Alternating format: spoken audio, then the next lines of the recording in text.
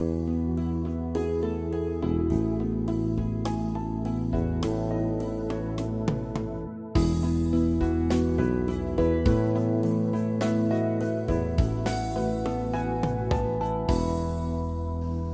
everyone, and welcome today to Spiritual Perspective. And today we're dealing with the subject about an outcast.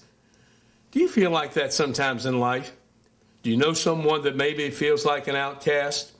They're somewhat totally disassociated themselves with people and society and really feel in a bad situation. And maybe people that are looked down upon. Maybe you feel like people look down on me. Listen, stay tuned today. I've got something really important to share with you from the book of Matthew, chapter 8. And hi, everybody. I'm Carlton Duck. And yes, we're going to be dealing with the story of an outcast today. And today you may find yourself in this story, but also I want to encourage you today that God today can turn your life around. There's nothing too hard for our God. I don't care how deep you've gone into sin. I don't care how bad your life is messed up. I don't care what has happened, who's rejected you, who likes you, who doesn't like you. It doesn't make any difference as a God who loves you and he can make a difference in your life. So glad you're with us today. And this, this is a ministry of Gethsemane Baptist Church. And I'm the pastor of Gethsemane Baptist and I'm Carlton Duck. And I'm so pleased that you've taken the moments to share the word with us today. And that uh, I pray it'll be a blessing to your life. We would love to see you at Gethsemane Baptist Church. We just celebrated the glorious resurrection of our Lord Jesus Christ, but don't we do that every Sunday? Certainly, because I'm glad He arose and He's victorious and He's defeated sin, death, hell, and the grave, and He is our victory today. If you're looking for victory, look to Jesus because He can bring you through whatever you are facing. Friend, 411 Blue Ridge Street is our location easily found one block off of Lakeside Drive, Route 221. We're near, not far, about a block away from the main entrance to the University of Lynchburg. Not hard to find us. Turn on Blue Ridge, and the church is one block up. Our worship times 9:30 and 11:30 a.m. every Sunday, and we'd love for you to come and bring your family, bring your kids, bring your teens, because we have a program in pew that your kids can use. Our service is only about an hour to an hour and 10 minutes in length, and that uh, you will find you will get a wealth of encouragement and inspiration in that service, and your kids can get some great great things accomplished in their life, even through what we provide for them through the Kitty Care Kit. So come and see us. Also, visit me on our website, and that's at alivegbc.com. You'll see that address right on the bottom of the screen. And you can visit that. You can go on our uh, Facebook account. You can go to our YouTube account and watch some of our programs. And also, you can join me uh, on my Facebook page, Carlton Duck, every Wednesday night, 5 p.m. Topic Talk. And what are we doing? We're providing you on the first part of the week. You can go on my uh, page and vote on what topic you would like for me to discuss and then we will tally up the votes. And then that Wednesday night at 5 p.m. on Topic Talk, that's what I'll deal with. Additionally, we uh, provide at 7 p.m., we come back and provide a season of prayer. I mean, we pray live right there uh, before you and with you. And I would love for you to join us for all of that. Share that with your friends and neighbors and in your family. And I know that you'll be mightily blessed of the Lord. Let's talk about today this outcast and uh, realizing this today that many people find themselves as an outcast. Maybe it's because of prejudice or disrespect maybe because of sickness. And, you know, there's a big spin that we could go on and on and on and try to identify why people feel and they, they're an outcast. So you see some things happen here that we're going to meet a man uh, that basically was in a terrible disease. In Matthew 8 and 1, he was come down from the mountain. Great multitudes followed him. And behold, there came a leper and worshipped him, saying, Lord, if thou wilt, uh, thou Thou canst make me clean. And you know what? He knew the right one to go to, didn't he? Leprosy was a terrible condition in the first century. And uh, our term of leprosy today is known as Hansen's disease, and where it literally eats the flesh and the bone and, and deteriorates the body, and it's gross and it's smelly and it's horrible. I know when I was in Thailand, some years ago when I was in the military during the Vietnam era that uh, uh, one of the things they had leper leper camps there, and where those uh, people that because of their leprosy they had been placed as an outcast. But leprosy it brought fatigue, it brought some uh, real pain to the body, and it was very intensified. And to make matters even worse, victims would, would lose their ability to feel. They had no feeling in their fingers or their feet. And if you uh, lived during that time, you would refer to a leper, you know, basically, secondly, only as to basically a corpse. It was just a walking dead person in one sense of the speaking. And so, if, you know, these things uh, in the process of the loss of fingers and the feeling and everything else, people became an outcast. So Jesus meets this man that just like uh, this man, you know what Jesus did and what he provided. And Jesus put forth his hand and touched him, saying, I will be thy clean. And immediately his leprosy was cleansed. That's verse 3 of Matthew 8. And so Jesus saith unto him, See thou tell no man, but go thy way, show thyself to the priest, and offer the gift that Moses commanded for a testimony unto them. Now, this was a miracle, needless to say. And let me just make a sidebar issue on this a moment. You know, people think the days of miracles are gone, but let me tell you what, He is the God who was the same yesterday, today, and forever, and He's still a miracle working Jesus today. He can work a miracle, and if nothing else, salvation is a miracle that He works in your life by forgiving you of your sin, of rejecting Him and saving your soul and writing your name in heaven and being your Savior, being your Lord, and being the best friend that you could ever have this side of heaven. So this, this miracle was provided and given by Jesus. Here's a man that was completely an outcast from society, and yet he was made perfect by the healing hand of the Lord Jesus Christ. Then there's an, uh, another issue we see. There's another scenario that's found in verses 5 and 6. And when Jesus was uh, entered into Capernaum, there came him a centurion beseeching him and saying, Lord, my servant lieth at home, sick of the palsy, grievously tormented. So the second outcast has a tremendous and great need.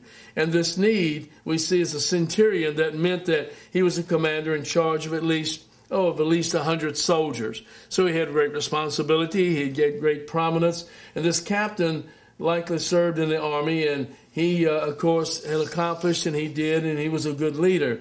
But yet, he comes to Jesus with a great need.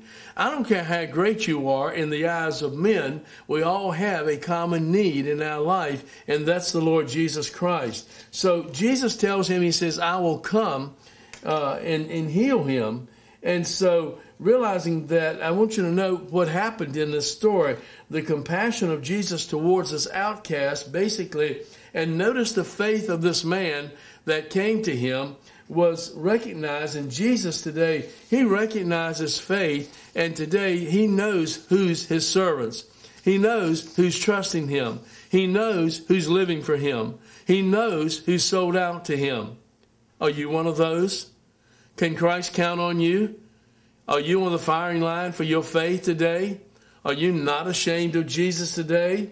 Listen, he can turn anything around in your life, but He can only do that today through a relationship that we have with Him. And then He talks about, you know, an unlikely candidate for grace.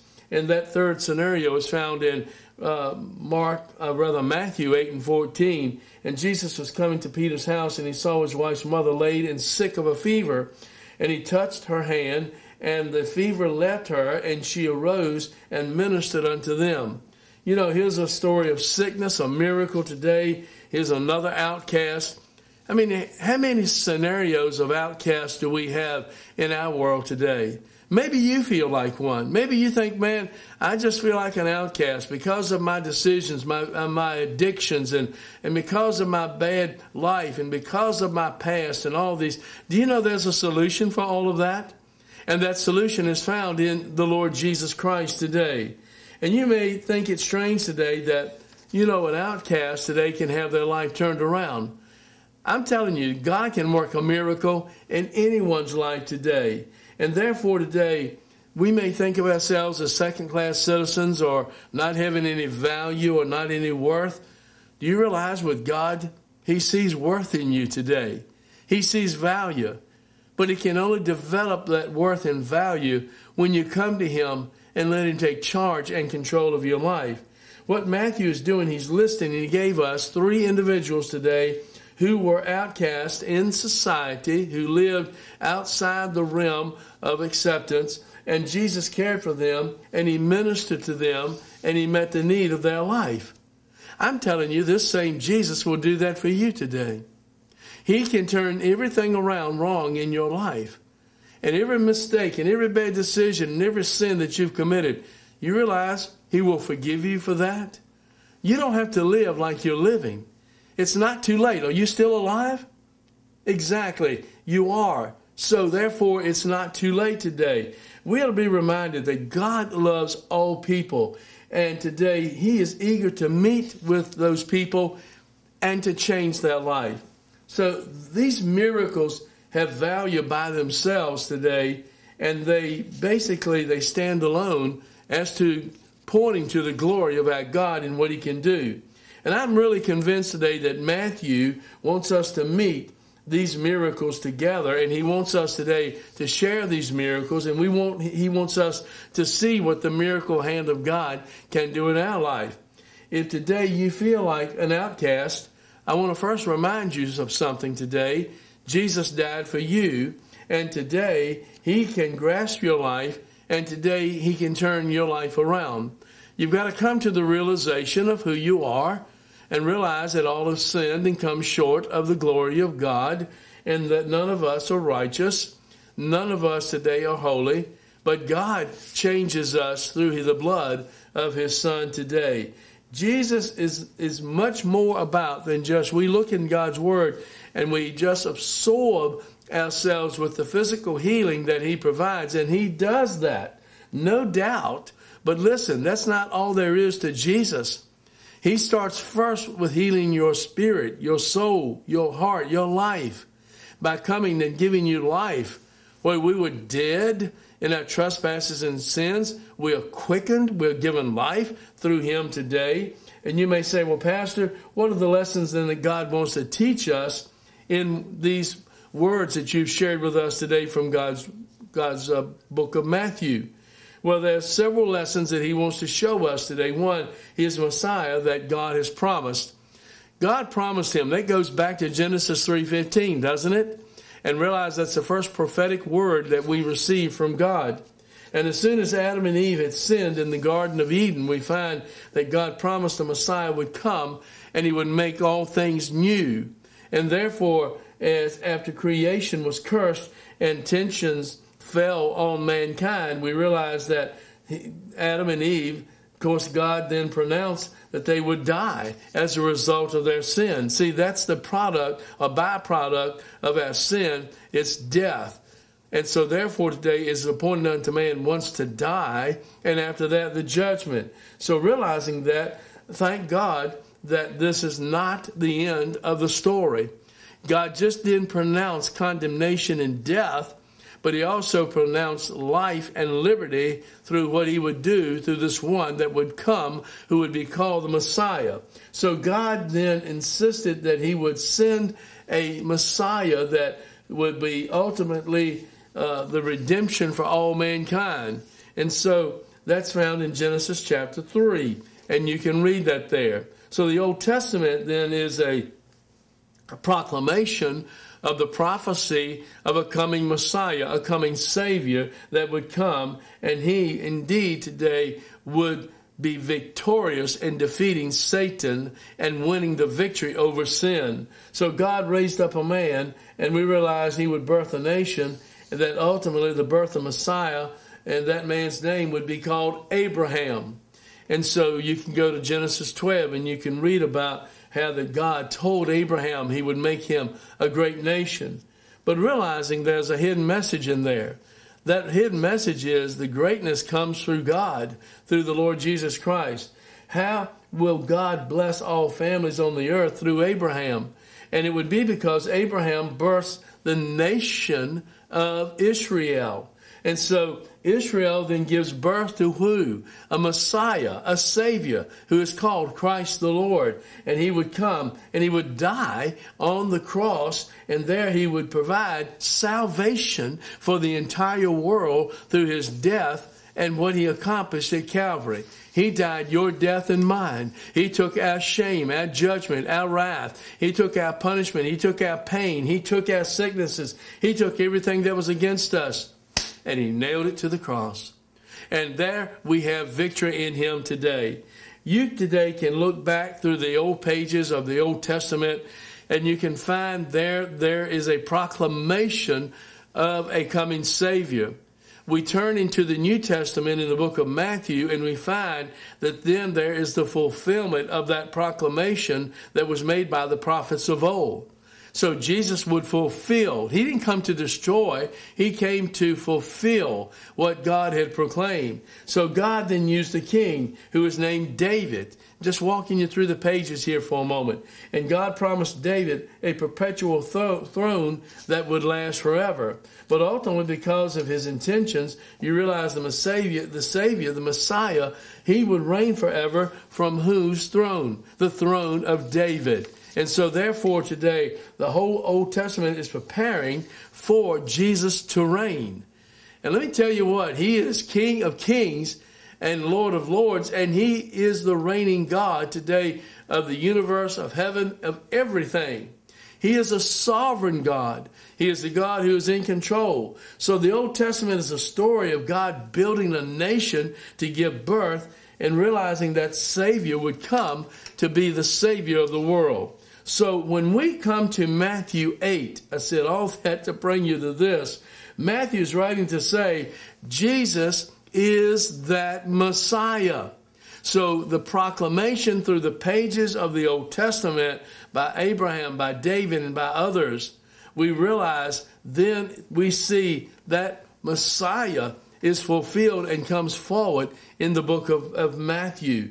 So he is the culmination of the Old Testament and realizing he is the one who would yield today that uh, who would yield to the authority that was set on David's throne, who would be our Savior, who would be our Lord, and who would become and be all authority in our lives. So Matthew 5 and 7, Jesus gives us the authority today, and we find the teaching of Jesus and what he gives us and what we really need in our lives today in what is called the Sermon on the Mount. But in Matthew 8, we find that Matthew writes to demonstrate that Jesus has the authority. And let's not forget that. For Jesus is the Word, isn't He? I mean, you read uh, John 1 and uh, you read the account that's given there of what happened, that He is the Word. Well, let me tell you what. The Word is Jesus and the Word was Jesus. And therefore, today, that Word has healing power, doesn't it? It has the healing power to save your soul, to deliver you from the clutches of Satan, to give you a home in heaven, and to give you a Savior and a Redeemer in life that would walk with you through this perilous time in which we're in. And thank God no weapon formed against us can prosper, as Isaiah said and declared. So therefore today we have the Savior with us, and He has the authority today to heal. So you need first your soul healed. You need to be saved, born again. And I know those are common terms in our society today, but I'm going to tell you, it's not a church that saves you. It's not a preacher nor a priest. It's not a baptistry. It's not your good works, your lineage, or anything else. It's the Lord Jesus Christ. He was hung up for our hang-ups of sin. And so, in, and we see here that Jesus then has the authority to heal. And not only can he heal you in salvation today, but he can heal your body today. I am not a physician. I am not a doctor. I am not the, I do not possess the power to heal you. I do today I can pray for you and call on the God who can heal you. He is called Jehovah Rapha in the Old Testament, who is a healer. And He can heal your body today. He can heal your mind. He can heal your relationships. He can heal everything about you, your past, your present. He today can do all things because nothing is too hard for our God. So we see that He teaches and He gives us on the Sermon on the Mount, and He talks about the authority to heal. And then we see that He walks on water. He calms the sea. And he does all these great things and he has the authority to forgive. That's the power that he possesses today. So Matthew is establishing Jesus as the Messiah. And so God promised that I might be, that it might be fulfilled, which was spoken by Elijah, the prophet, saying himself, uh, and saying himself, took our infirmities and bear our sicknesses. That was Isaiah. And so therefore, that proclamation that Isaiah made in Isaiah 53, Jesus fulfilled what he proclaimed. 700 years before Jesus came, Isaiah was proclaiming what he would do. Man of sorrows acquainted with grief. He was wounded for our transgressions, bruised for our iniquities. The chastisement of our peace was upon him, and with his stripes we're healed. Glory to God. I'm glad he is that and he's able to do that today. So the leper was right. He was cleansed by Jesus. He was changed by Jesus. And Jesus has authority over disease, dilemma, difficulty, over panic, pain, and problems, over anything that you face in your life, over sin and struggles and situations. Whatever it is, He's greater than that. And so when you're in Christ, Today you have that one living within you that's greater than whatever you face. Maybe you're going through a struggle. Maybe you feel like an outcast. Maybe you feel like your life is just on a treadmill and you're not going anywhere. Whew, I'm glad God can turn all of that around if you'll put your faith and your trust in Him. He's the Messiah that everyone needs. Everyone needs the Lord. None of us are exempt from that. Approximately 9 billion people on planet Earth. Every one of those people need the Lord Jesus Christ. And so I'm glad today that we have that hope that is found in Him. I'm glad that we have one that is made a way for you and I. That we don't have to die. We don't have to be an outcast. We don't have today to struggle in life. We can place our confidence and our faith in Him. And today we should desire a God today. You know, I don't believe in prosperity theology. I just don't. I, I don't believe in this name it and claim it mentality. I don't believe in all of that because you know what? It's you trying to do it. But you today have a God who's greater than all of that. I have a God that said he'll supply my every need according to his riches and glory. I have a God that will save me. I have a God that will protect me. I have a God that gives me surety, stability. I have a God who's prepared a place for me. I have a God who will guide me and direct me. I have a God that is a friend that will stick closer than a brother today. Friend, listen, we don't need prosperity theology. We need Jesus today. And we need him in our life, in our homes, our families, our churches, our culture, our government. We need Jesus greater than we've ever needed him before. But in this era in which we're living, it seems like people are turning away from him. But I believe that God has raised up some people that are still looking to and trusting the Lord. And I'm glad that we can put our confidence and our faith in Him. And He's a God that can turn all things around if we will learn today to place our confidence in the one that the Father said, This is my beloved Son in whom I am well pleased today. I'm glad today that through his death on the cross, he made a way for you and I where we can have stability, strength, help, and encouragement and grace in our lives. I'm glad he defeated death. I'm glad he defeated the devil. I'm glad he defeated every dilemma that you will ever face in life today. Jesus is not only the Messiah, God's promised one, but they understand today he is the Messiah that every person needs in their life. The greatest threat that we have to, to humanity today is not the coronavirus. It's not the malady today of all the issues of the world. It's the malady of sin that has infected every human heart today. Listen, friend, there's only one way that that, that that sin can be taken care of in your life that's defeating and destroying and brings death. And that's the blood of the Lord Jesus Christ today. I want, to, I want you to understand God loves you today. And that's why he sent Jesus to die for you on the cross. He can change who you are. And even in your position of thinking that you are outcast, I'm glad he will bring you in. He will cleanse you, change you, and then he will deliver you. And today he will mightily use your life for his glory, honor, and praise. It's all about putting Jesus first.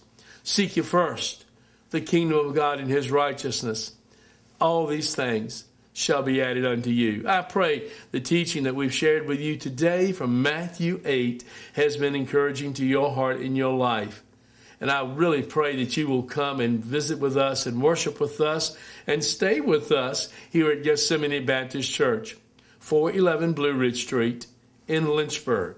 One block off of Route 221, that's Lakeside Drive, one of the most traveled roads in and around this community and we'd love for you to come and celebrate Jesus with us this Sunday. And that worship time is 9:30 a.m. and also 11:30 a.m.